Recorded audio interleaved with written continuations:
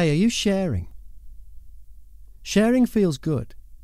Have you got something to share? I've been speaking to a lady who's amazing. Her name is Benita Matofska, and she works with people who share. She's an expert, a global expert in the sharing economy.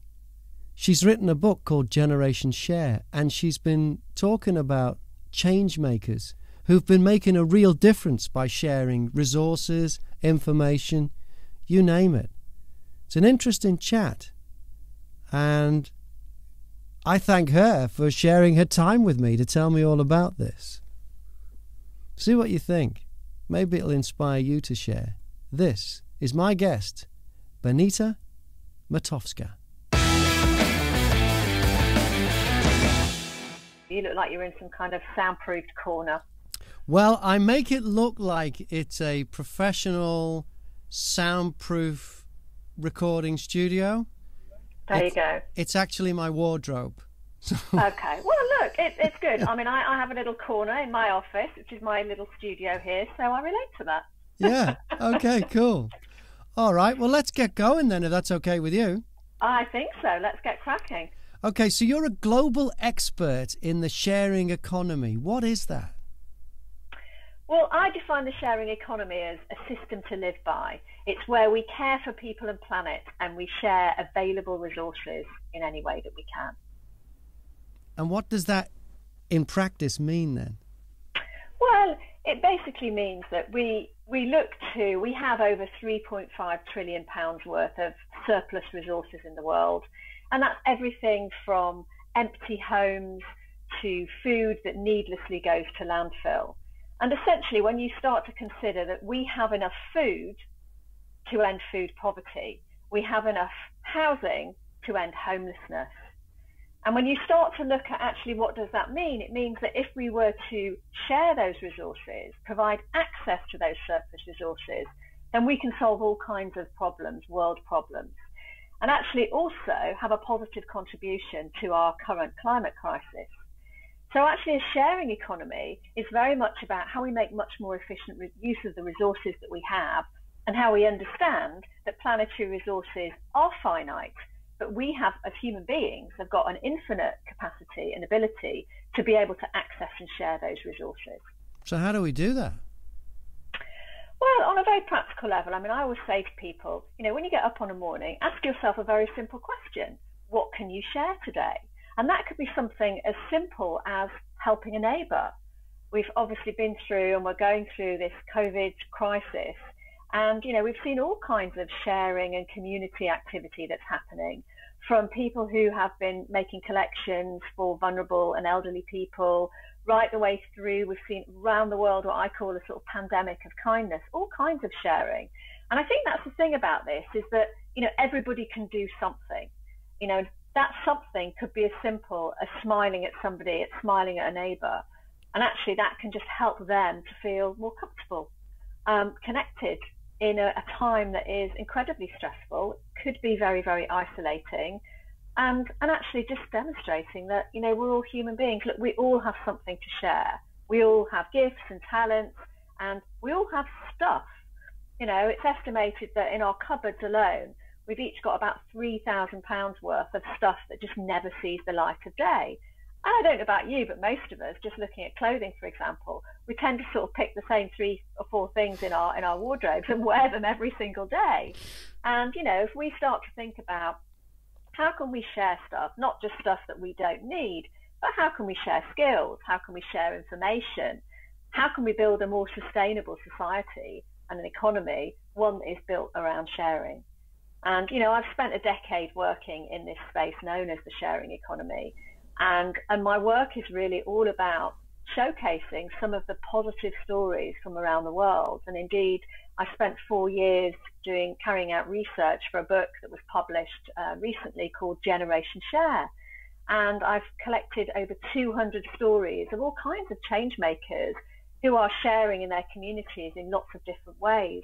So from a doctor in Greece who set up a network of free clinics for refugees and people who can't afford access to healthcare, in abandoned spaces using medicines that would otherwise go to landfill. And she's created this whole network where people can come and not only get the medical attention they need, but also they can be part of um, you know, a soup kitchen. They can be fed. They can connect with other people in their community. Some people are finding employment. So there's all kinds of things that we can do if we're if we're sharing resources. Um, you know, we've also got some really incredible entrepreneurs who've set up all sorts of platforms where you can share goods online. And indeed, you know, lots of us are doing these kinds of things. And particularly as we here in the UK head into a second lockdown, you know, people are being connected digitally just as we are now, and, and finding ways to be able to access and share resources because technically so much is possible and across boundaries. And there's all kinds of ways in which we're able to verify that people are who they say they are. There's all kinds of trust mechanisms in place. But I think what we're seeing through this pandemic really is a pandemic of sharing and kindness. And it's very much for me about how can we tell those positive stories of hope and I believe to change the world, we need to change the narrative. We need to tell better stories and more positive stories. And you really believe we're finding that, that we've got maybe almost like a wartime spirit in this pandemic, that there's more community? Well, I think there was a lot of talk, particularly back in sort of March, April, May, of this of this uh, you know wartime spirit, and of course we had the clap for carers that went on over a number of months. We had uh, you know 750,000 volunteers um, came forward for the NHS in a 48 hour period. It's pretty staggering. And, and we certainly saw a lot of community activity. I think what's happened now is that we've seen people have found different ways to put that to, to good use. Um, we've seen the development of different organisations, the strengthening of community groups. I think there was a kind of initial sort of surge of people saying, I want to do something, I want to help in some kind of way. And in many ways, that was just an excuse to, to connect. You know, many people, I'm just thinking about my own street here in Brighton, and I've been running a, you know, a community group um, for, for years and years. I usually organise an annual street party for an initiative that I run called Global Sharing Week each year. And, you know, what I found was that so many more people on this street came forward and said, you know, I want to connect with other people who need help. Can I do shopping? People were cooking for a disabled couple that live across the street who were unable to access the supplies and the resources they needed. And so I think, you know, people have found ways to be able to do that. And in many cases, people are driven by the fact that, you know, they themselves feel lonely. They want to connect with other people. So in many ways, this has provided that, that much needed excuse. Um, but I think what we have seen is also, you know, as time has gone on, you know, obviously there's a lot of fear and uncertainty about what's happening next. People are trying to find ways to manage and to cope with, you know, with living with this with this virus. And you know, the, the sort of shifts that are happening in society are really apparent. Um, but I believe this community spirit is only getting stronger. It may have become quieter after that initial surge, but I, what I've seen is it's becoming more um, widespread. People are finding different ways. People are getting more organised. Um, we're seeing all kinds of community groups that have really sort of established themselves now and have established, established different mechanisms and ways for reaching out to people who are very vulnerable in communities. So I think it's really incredible. What we aren't seeing enough of, though, Graham, are the telling of these positive stories. You know, news by definition, and I'm a former journalist, um, is something negative. Well, yeah, you know, if it if it bleeds, it leads is the classic. Yeah, exactly, exactly. And and we know that we we you know by telling and showcasing positive stories, what that does is it's contagious. Kindness is contagious, and it leads people to realise and recognise that something's possible. So I know from you know the response to my book Generation Share that by showcasing that a girl in the slums in Mumbai was able to build a school for other girls to help get them out of poverty, and she did this herself by educating herself. First of all, she was earning nine, the equivalent of nine pence a day, making necklaces and selling those. And ultimately, she was able to, to, through social media, she was able to attract supporters and she has a whole school, a schoolhouse within the slums in Mumbai, in Mulund. and she's you know educating hundreds of girls. And through the pandemic that wasn't going to stop her either. She set up a digital school and she found ways to be able to educate those girls safely in their own homes and also distribute sanitary supplies and and food and, and rice and grain and so on. And so my point is that you know wherever we are in society whatever kinds of means or, or no means that we have access to there are all kinds of ways that we can that we can make things happen. And I think by telling these stories of positivity and hope, we inspire other people to enable them to share in their communities and find ways to, do, you know, deliver their own change making. I believe many of us are change makers at heart, but what we need to do is we need to inspire people and let them know it's possible, that it's doable. And then there's really no end to what we can achieve. Because yes, our planetary resources may be finite, but our potential to make change, to share, is unlimited. What I like about what you're doing is, and you touched on it there with the news, you know, people have a tendency to be very negative based on the negative information they're bombarded with on a daily basis. And they don't realize, and you may realize this as a journalist, but I worked in I worked for BBC for a while and, and I worked out pretty quickly that the news, if it makes news, it's because it's unusual. If something happens every day, if somebody goes to work every day and comes home safe and sound, that doesn't make the news because, well, to be honest, it's boring. But if somebody, if something happens on the way to work or the way home from work, it's an unusual thing, it makes the news. So once you realize that the news is basically a collection of things that don't normally happen, but then you can then you can watch it with a bit of a filter because it's a collection of things that don't normally happen. You know, horrible things happening all over the world, but they don't normally happen. That's why they're news. And but because we're bombarded with it, we think, well, this must be what's happening all the time. This must be normal, when really it isn't. And I basically believe that most people are basically good. I believe that, you know, there's a parade of shops just around the corner from me. I believe I could put stop my car outside that parade of shops with the door open, with the keys in the ignition and the car running, and go into the shop and buy something and come out, and the car would still be there. Because most people will just walk past it.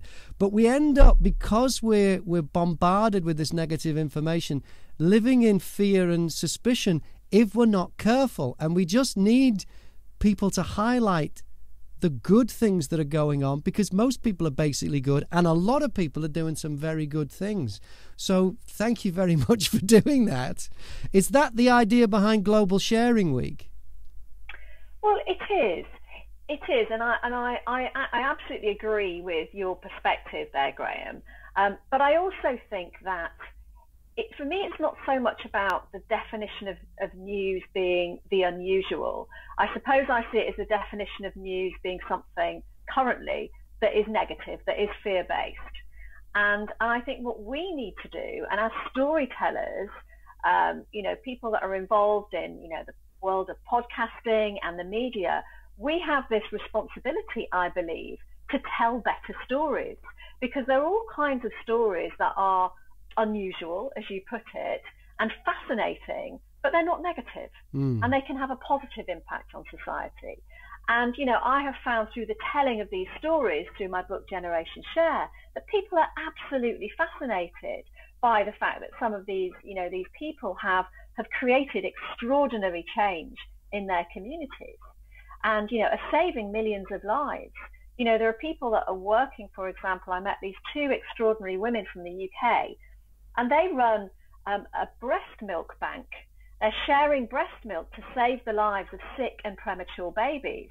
And when you think of sharing, you don't think of sharing breast milk, but actually, you know what they've done is they've they've provided access to a resource in a very um, you know clinical, uh, safe, secure way that is saving lives of a very very vulnerable, I'd say, sick and premature babies. And it's estimated that you know 1.2 million lives are saved each year through the sharing of breast milk around the world in these milk banks. And, you know, we also know looking at some of the incredible organizations like Fair Share, and what they do is they divert food that would otherwise go to landfill to people living in food poverty. And you know they, they provide food for something like you know 50 million meals across the UK each year. I mean it's just completely extraordinary. And this is perfectly good food that would otherwise go to waste. And so yes, the idea of Global Sharing Week is really to showcase and to, to enable people to discover all these incredible sharing initiatives that happen around the world. This year it was a very different kind of Global Sharing Week. Ordinarily we have hundreds of events happening all across the world. And this year, because of COVID, our focus wasn't on events and on live physical events. But what we did is we created a global map of impact where people could find and access some of these incredible organizations like Fair Share that I mentioned, who are providing access to food, to housing, uh, skill sharing organizations, um, organizations that are helping young people find employment. I mean, all kinds of different organizations and ways that people can share. And we did that through this, this global map of impact. And, you know, Global Sharing Week has grown each year. It started out as National Sharing Day in the UK and this kind of crazy idea that I had of running a national campaign with really no funding and, and you know, pretty much sort of no support. And, you know, within a six week period, I had brought on board 45 different partner organizations. And, you know, we, we reached over a million people. We were uh, trending on all Twitter lists globally, and people were getting in touch from the Ukraine and, you know, the Netherlands and the Philippines and all kinds, all, all sorts of places. And that's when I said, well, why don't we have Global Sharing Day? and then that ultimately became Global Sharing Week. So, you know, we've seen that when you showcase this kind of sharing and this kindness and this resource sharing, and you really sort of think about people and planet, and you know, consider that by positively showcasing these stories, we can really have an incredible impact on the planet. And we can ta- start to tackle some of these really pressing challenges like poverty and climate change. And, you know, look, we've seen that through this pandemic you know, the um, if you look at, for example, uh, the levels of traffic that were reduced to that of 1955, you know, back in April and May, and you know, flights reduced by 95%, and you know, we were starting to see blue skies over Delhi and Shanghai, and you know, the world was healing and repairing itself, and and that just gives you an indication that, you know, by focusing much more on on on people and by focusing much more on health, which is what we were doing actually the planet was able to breathe, you know, tragically at a time when humans were struggling to do so with this hideous virus. But my point is that it really gave us that opportunity to stop and to consider and to think about this kind of, you know, hyper consumptionist society that we live in and what's really important and what do we really need and understand the impact of our actions. Because when we stopped doing that and we stopped making unnecessary purchases and we stopped taking unnecessary journeys, you know, we were able to see some of the kind of repair of the planet in progress. And I think that gives us great hope that we have the ability to reverse the impacts of climate change. We just need the will to do it. Mm. And it's the same with poverty. It's the same with poverty. You know, if you consider that, you know, within a, a few day period, we were able to take all the rough street sleepers off the streets and they were placed in temporary accommodation. And if that wasn't a demonstration that we have the ability to solve the problem of homelessness in the UK, certainly the problem of rough sleeping, and I don't know what is a demonstration of that. So the you know the, the resources are there, the abilities there. It's about having the political and social will. So in a way, there is a silver lining to lockdown. I believe there is a silver lining to lockdown because also it gave people a chance to really, you know, when choice was taken away from you, you have to really consider what do I really need? What's really important to me? And one of the things that we've seen, for example, is the um, the number of times that people communicate with their elderly relatives, and their families, um, you know, has increased the quality of communications, the amount of time people spend communicating with their families at times when we've not been able to, you know, I've not been able to see my elderly parents who've been incredibly vulnerable. And, you know, my dad going through cancer treatment at this really sort of challenging, difficult time. And, and that has been really hard. But, you know, what we've had is we've had technology. I've been able to have, you know, every day I've been able to have video calls, WhatsApp calls with him. You know, we've had Zoom sessions you know, for his birthday, I even organised a surprise audience for him so he could play his ukulele, and you know, he could still he could still perform um, with people from all over the world that couldn't have physically been, you know, at any kind of birthday party, but they were there on Zoom. And so I think we've discovered all kinds of creative ways to, you know, to enhance life, to celebrate life, uh, whilst actually being a lot more resource efficient. I think many of us will really consider um, before we we you know hop on a plane to travel to the other side of the world to attend a conference for two days. Um, you know, certainly in my line of work, um, which is public speaking, you know, I think speakers and conference organisers have had to really sort of consider, you know, the impact of some of these events on the planet and find different ways of delivering what we deliver. Well, it never made it never made sense to me that we had every year we had climate change summits and world leaders went there by plane. And I always said, why is this not happening online? It's a climate change thing, for goodness sake. I, it, that never made sense to me. But yeah.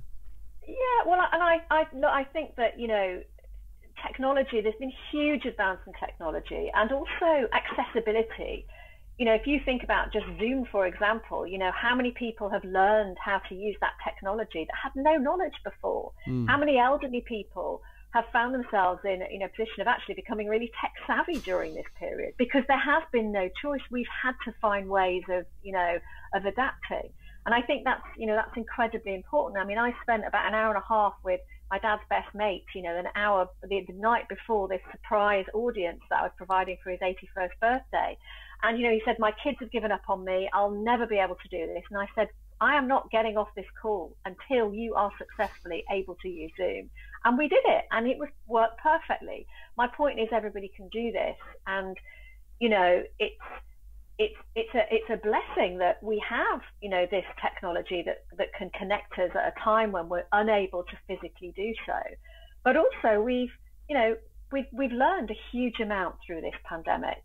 And I think what's important now is that we put that learning to good use and this whole idea that's been emerging about building back better, about reimagining society. Because if you think about it, what the crises have done, both the climate crisis and the pandemic, have they've exposed the fault lines in society, the stuff that was not working to begin with. And we now have this opportunity to repair that, to build it back in a way that is sustainable, that does consider people, that does consider the planet, that is much more mindful, that is much more positive and healthier. So, uh, you know, I'm, I'm very positive about where this can all lead. We just need to make sure that it happens mm. and that we tell these positive stories so people appreciate what they can do. It's also very empowering.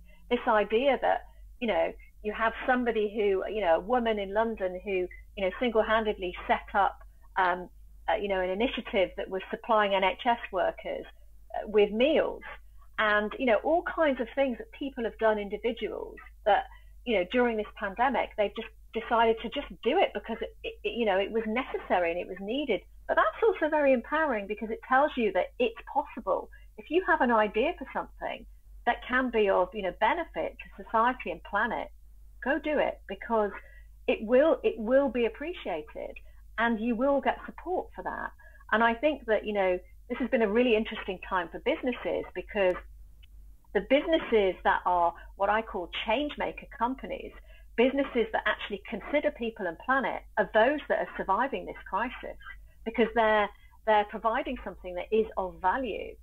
You know, if you're only considering commercial value, you're only considering profit, you're simply not going to survive anymore. You know, we're now in a world where people want to know where their clothes come from. They want to know, you know, how their food is made. They want to know that people in the process are being fairly paid.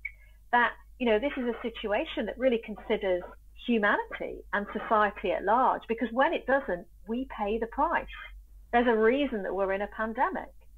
You know, hmm. there's a reason that we're here, that where we are, we've exposed all of the stuff that doesn't work. Do, do you think that's do, do, do you think that, that. that that's true though? I mean, if if somebody is in the supermarket and they see shoes that are only you know ten pounds or or a, a shirt or something that's only two pounds. I mean they're like jumble sale prices. Do you think they they stop for a minute and go, "Wait a minute, how has this been manufactured for such a low price?" Do you think people actually get there, or is there still work to be done on the education there? There's definitely still work to be done on education, but what we sort of know from the numbers is that the increase in, in you know what I call this conscious consumption, you know, is absolutely evident that you know we're seeing the rise in you know some of these social enterprises, these different businesses. We're seeing you know you only have to look at sort of packaging and labeling, and and the rise, for example, of things like you know veganism, which has you know had a you know huge exponential. Well, I'm vegan now. Yeah. Absolutely, it's but it's extraordinary, isn't it? Yeah, it's, it's great. Extraordinary. Yeah. And you know you have to only have to look at the kind of take up of, of initiatives like Veganuary and this is all part of a wider consciousness. People are starting to think about, you know, what am I putting into my body? You know, we're in a health pandemic. So people are having to really think about their health and really consider those those factors. And yes, people are looking at labels. Yes, people are starting to buy, you know, you know, both with their heart and with their head because they're starting to understand that that has an impact. And also, I believe that the stories are being better told about you know, how there's always a cost. So, you know, if you buy fast fashion, for example, there's always a cost. We saw an example um, up in Leicester where the company Boohoo, for example, were in, within a two-week period produced and manufactured a new line of loungewear so people could lounge and stay at home at the start of the pandemic. And what happened was cases spiked in Leicester because those workers in the Boohoo factories, which were essentially sweatshops, were being paid less than £2 an hour and were in completely unsanitary conditions. And therefore, that's the reason for that, that you know, lockdown in Leicester was traced back to these you know, fast fashion businesses that actually pay no regard to people and planet. And you know these stories are starting to be told and exposed, and it was very interesting looking at how the fashion world responded to that incident. And, you know, it was big brands were very, very quick to, to, to look at, you know, what they were doing and make it very clear that they were not willing to support those kinds of practices. So, I, you know, I believe we're in an, in an environment, a climate now where you can't get away with it anymore. These things are being exposed. You've got um, a generation of young people who really care about the planet because they understand that without caring about the planet, they have no future. Mm. You know, yes, as Greta Thunberg says, you know, the house is on fire. We've got to do something about it. We'll have nowhere to live if we don't. And there's a generation of young people that really understand that. So I believe, you know, what we're seeing is, you know, fast fashion on the wane. You know, even car ownership has been on the wane for a couple of years now. People are starting to find different ways, different modes of transport more sustainable, or they're accessing car clubs or, you know, accessing electric vehicles all kinds of ways in which people are, are becoming more sustainable. And, and also we're, we're, we're finding ways to make these products cheaper, more affordable, more accessible. We've still got a way to go on that, I believe. And, you know, but there's definitely a shift that's happening. Behavior changes is here. People are realizing we cannot go on as we were. Mm. And we've also had this opportunity to stop and take stock and think about well, what do I need? What's really important in life?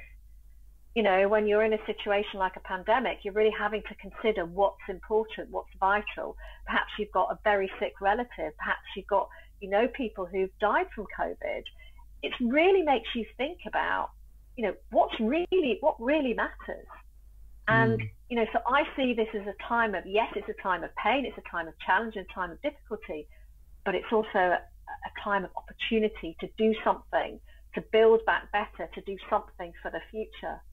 And a lot of the work that I do is working with organizations, is working with businesses to, to become these change makers, to not only survive economically and survive this crisis, but actually find ways in which they can build sustainable businesses and organizations, charities, social enterprises, public bodies that are making a positive contribution to people and planet and are actually recognizing that systems change is not just essential, but it's inevitable.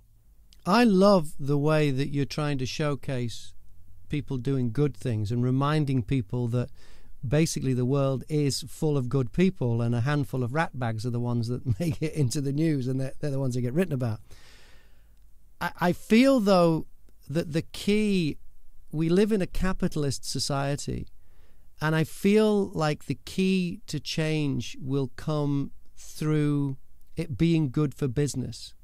And I think that's a very important way to go. I think people like Elon Musk, you know, bringing the electric car technology to to more people. I mean, it was originally they were very expensive. He's now making more affordable ones, still not not cheap cars yet, but that's influenced other manufacturers to try and you know to try and do that. And for people, you know, people don't want to put the work in. They just they want a good value product. And if electric car is cheaper to run, that's got. I think some people are more likely to go for electric car because it's cheaper to run than because it's better for the environment. It'll be a factor, but it mightn't be the main focus of switching from a petrol car to an electric car.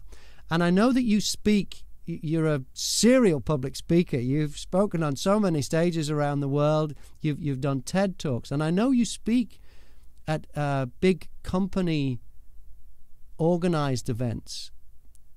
Do you get any pushback or any blowback from some of the old crusty uh, people that, that haven't worked out yet that actually having a, a friendly, a more sustainable message is actually going to be good for business if we get it right and don't get left behind because this as you said with you know veganuary and the vegan movement you know i only been a vegan for about a year but you know i probably couldn't have done it 10 years ago because i don't like vegetables but now there are so many alternatives and there's so absolutely. so many things you can absolutely. do so i'm i'm absolutely fine and i'm loving it and it's not a challenge at all. It's it's it's quite easy, but that's because certain businesses like Alpro and people like this have stepped up and they're now making yeah. you know um, choices of milks and cheeses and, and and all the rest of it. And that's if it wasn't for that commercial input, I I don't think it would have caught on as quickly. And I think my point is I believe that for the change to happen quickly,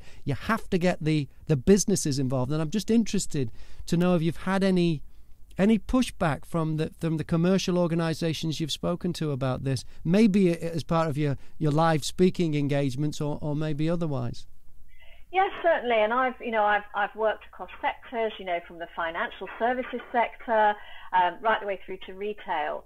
And you know, it's really interesting. If I look at you know 10 years ago when I was talking about the sharing economy and change making and some of these themes that we've been exploring today, very, very different response, Graham, to, to even five years ago. What I've seen within, and that's certainly lots of pushback, lots and lots of pushback, and uh, you know, really businesses that just that just absolutely couldn't see how this the, some of these ideas would catch on. But what we've seen within the last five years is a is a big shift happening, and I think look, money talks, and what businesses are seeing is that some of the most successful businesses are those businesses that have a purpose and have a mission. So some of those that are the most profitable, that are the most commercially successful, are those that are being run on these on these principles, on these principles of uh, you know caring for people and planet. And so you know when businesses consider that and start to consider that you know now if you are setting up a business or you're you're you know you have uh, you know, a long-standing incumbent, that you can no, no longer only focus on commercial gain because if you do, you simply will not survive financially. You, you simply won't survive. It is expected now that you are making some kind of contribution, that you're bringing some kind of value to society and to the planet. Every business worth their salt has some kind of policy about sustainability and climate change every business worth their salt has some kind of policy about how they care for the people that, that work for them and how they consider their, you know, their culture, their people culture. So, and it's, re- it's really interesting when you start to look at some of the numbers. You know, Social Enterprise UK have, you know, have, have, have you know, done some incredible research on this and on the, the commercial impact and the economic contribution that these good businesses are making and also the shift that's been happening with big, big, big business and how they understand that it's so vital that they are are doing something and not in a tokenistic way. You know, we've moved away from these sort of days of, of kind of CSR where you just ticked a box to the days of, of, of action because it's expected and you have an audience of customers who who will scrutinize. They see through it. They see through superficiality and tokenism and, and they will not stand for that.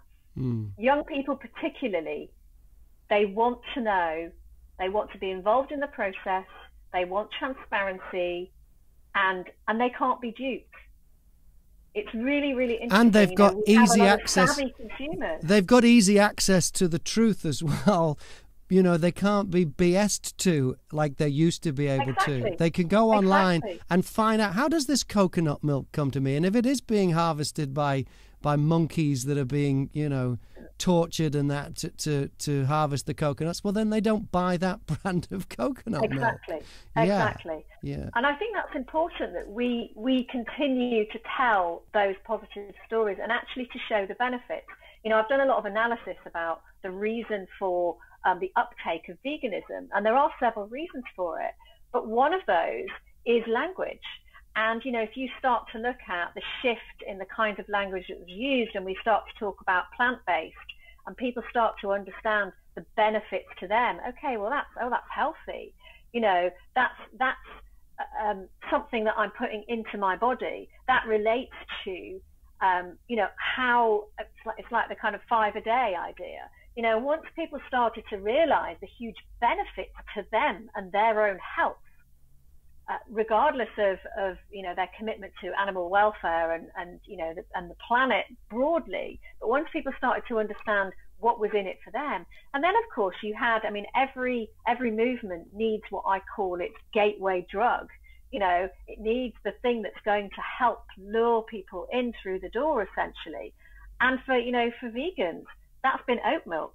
You know, mm. you only have to look at the uptake in oat milk. Yeah. And the fact is that you know your coffees are so much better with oat milk. Yeah. I mean, they taste better. Yeah. They are better. They're better all round for everybody, people and planet. And it's really interesting. And we've seen some of these what were once quite niche movements. Oh, vegans! Mainstream. I used to think vegans were freaks. I, do, I really right. did. Right. yeah. Exactly, exactly, exactly. And so it shows that it, that how possible this is, but it also shows it. You know that demonstrates that there is this this huge shift, huge shift Mm. You know, and and as more and more of these um, social enterprises and extraordinary companies, uh, you know, start to produce goods that are, you know, by very nature of what they're producing, they're delivering positive impact. There's a fantastic brand company called Who Gives a Crap, and they produce toilet paper. Right. And it's set up by uh, a group of guys who, yes, they love their toilet humor, um, but ultimately you know, the reason they set up this company was because they realized the numbers of people in the world who don't have access to clean toilets and clean water. And they thought that was horrific and they wanted to do something about it. And so every time you go to the loo and you use this, this loo roll, you're making a positive contribution to building toilets for people that don't have access to toilets. And it's just a very, and, and they do this with humor. You know, you've got like fun, you know, comments and interesting facts you know, on the on the toilet roll. And of course, there's no plastic packaging; it's all completely sustainably produced.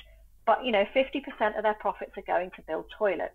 And my point is that you know we're seeing more and more of these kinds of businesses that recognise that through business and through you know products that we all use every day, you know whether that's our tea and coffee, loo roll, whatever it might be, we can actually create some positive impact in the world whilst creating, I have to say, a, a you know, a cracking commercial business mm. that has certainly through this pandemic has gone from strength to strength.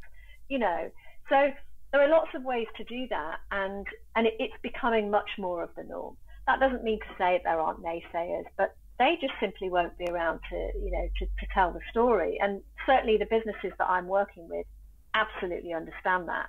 You know, um, there's a business that I'm working with at the moment, and the question, you know, isn't what you know well I'm, I'm not going to change or what do i need to what do i need to change they know they need to change they know they need to do something they know that they have to do something that is making a positive contribution the question may well be well what is that and i i work with you know organizations to figure that out and to look at the core capability that they have and how they can make an impact and how they can create a really sustainable you know, business or charity or social enterprise or you know community organization by really focusing on the value that they can bring to people and planet. So it's I think we're in really interesting times. Really, really I, I think we are. Times. It is. It is a hell of a time to be alive for, for many reasons, and uh, it does actually fill you with hope when you when you find out that people are doing great things like that, and and the way that information is is readily accessible and you know the growth of and I have to say this because you know that's what we're here for the growth of podcasting is helping that it's helping share information that you don't necessarily get through mainstream media through people Absolutely.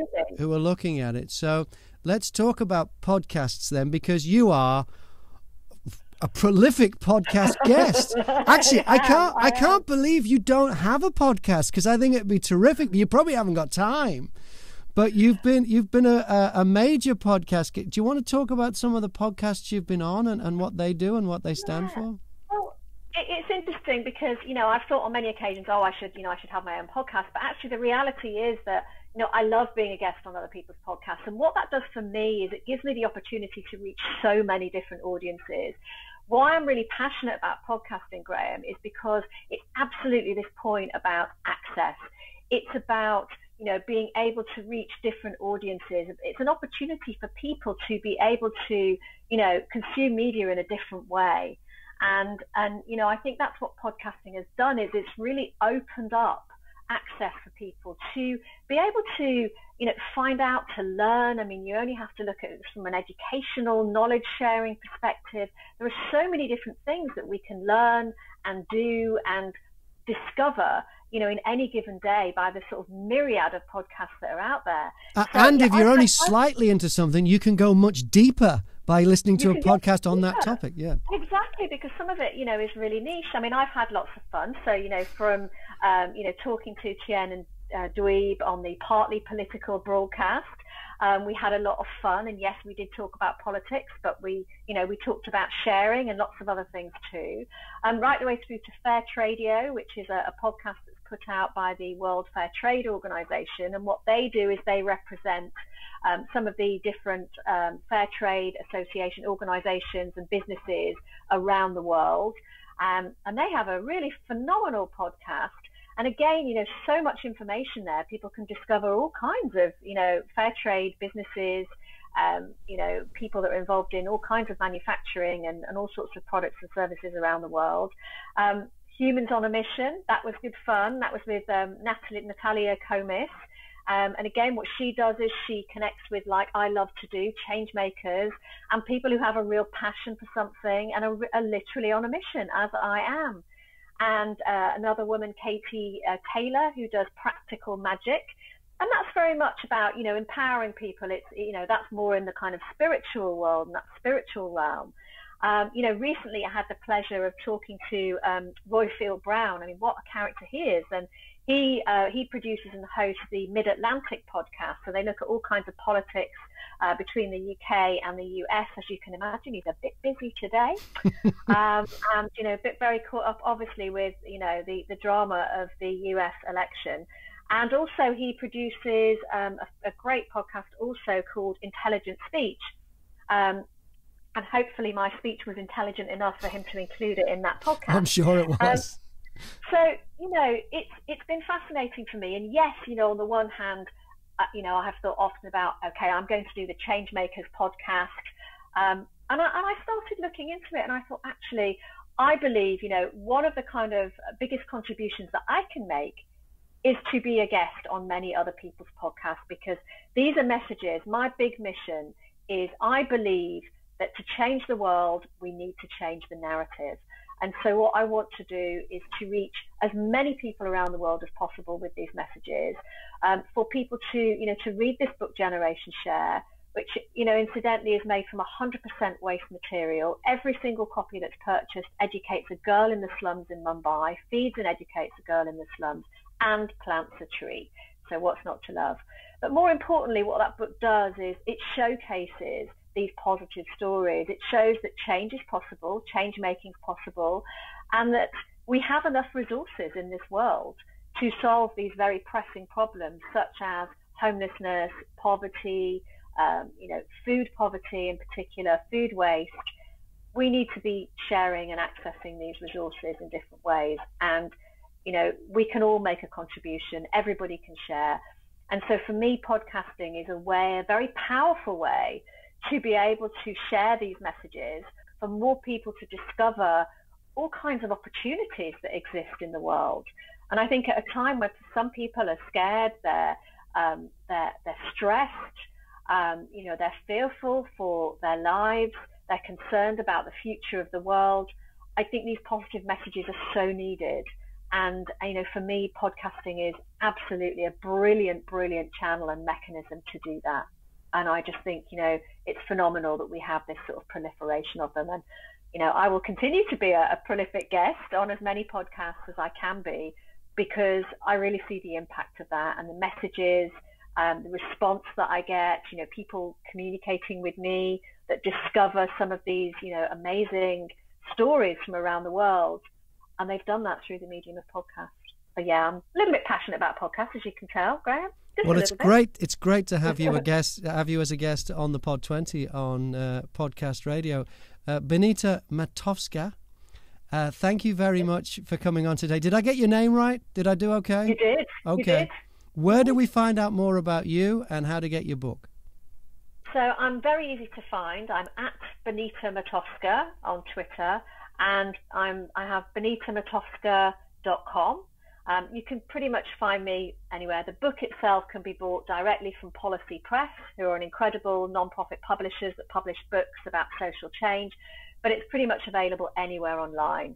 So Generation Share, and as I mentioned, each copy helps to feed and educate a girl in the slums and plants a tree, and shares lots of positivity and hope. Thanks for helping to change the world and for showcasing the other people that are doing it. Benita Matofska, thank you very much. Thanks for sharing.